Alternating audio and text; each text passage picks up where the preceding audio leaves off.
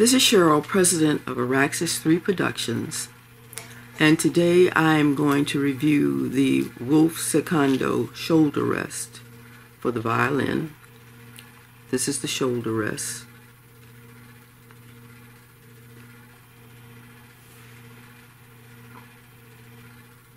Now I've written a few things down so that I won't forget and uh, I'm going to review this for you.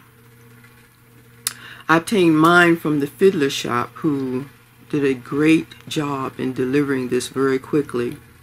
The price was $29.99 as of this production. I like this product very much. Their website lists other versions such as the Forte Primo and the Forte Super Flexible.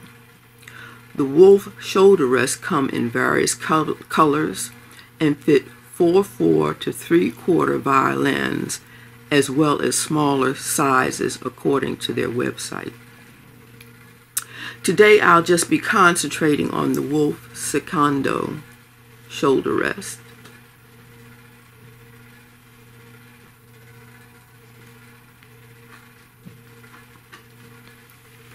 This shoulder rest is sturdily built and has sufficient padding to hold it securely against your shoulder. Very nice padding. It comes with instructions to show you how to adjust it.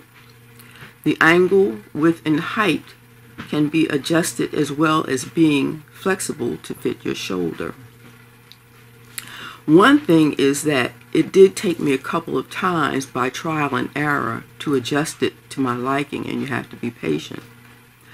The height is adjustable by two screws on either side. There are also extensions, one short and one longer in case you need those for additional elevation. I use the longer one here. If you can see it, there's an extension between the screw and the rubber feet. I use this longer one and it works perfectly. There is a shorter one also. You can see that in the bag.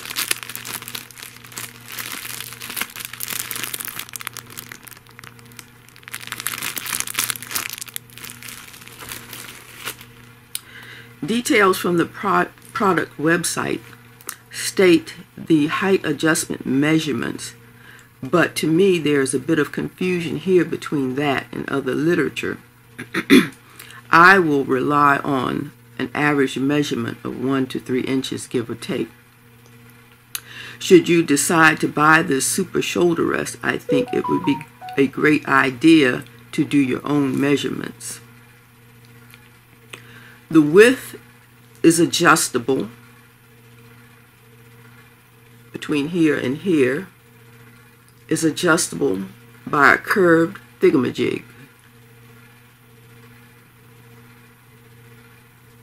You can adjust the width between the two rubber feet.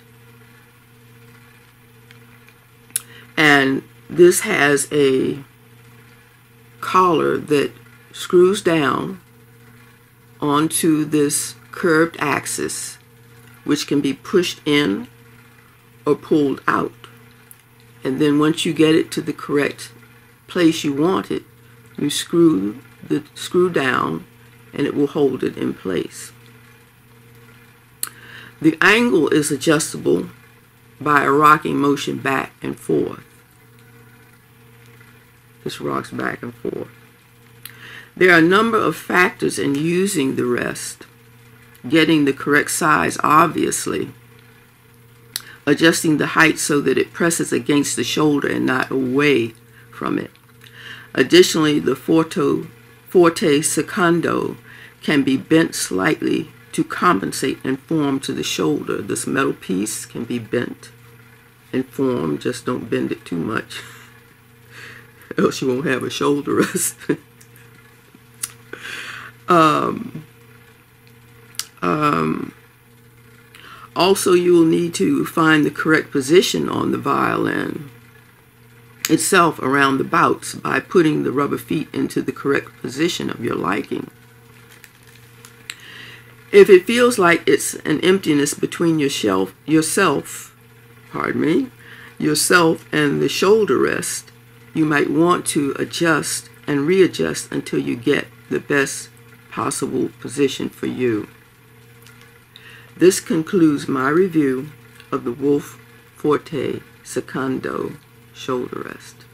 Thank you, Sheryl, President of Araxis 3 Productions.